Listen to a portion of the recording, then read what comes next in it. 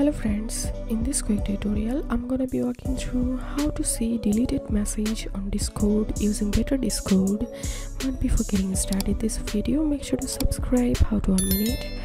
So first of all you have to install better discord and after that uh, open a browser and search here. Lightys better discord. And open this first link so basically this is a better discord plugin message logger version 2 so we need to download this plugin. Click on download.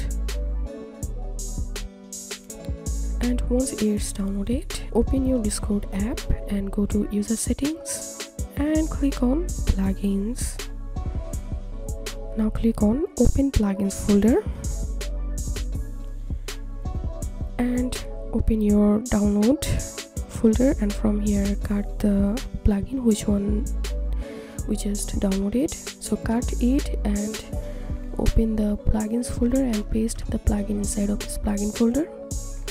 And then here we can see the plugin has been added to our discord. Now we need to enable this. So click on enable. And wait for a while to enable the plugin now click on ok. Cross this. So here you can see the plugin has been successfully activated. Now i'm going to a server and i'm typing a text here.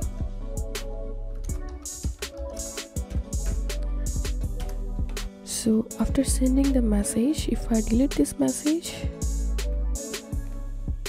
here you can see after deleting the message i'm still seeing the message through the plugin in a red color. So if someone delete any message you will see the message in red. So this was how we can see deleted messages on discord using better discord. If you have any questions feel free to post in description. If you think to see more wordpress videos please check the links in descriptions. If this video helped you give a thumbs up and please consider subscribe. How To 1 Minute thank you for watching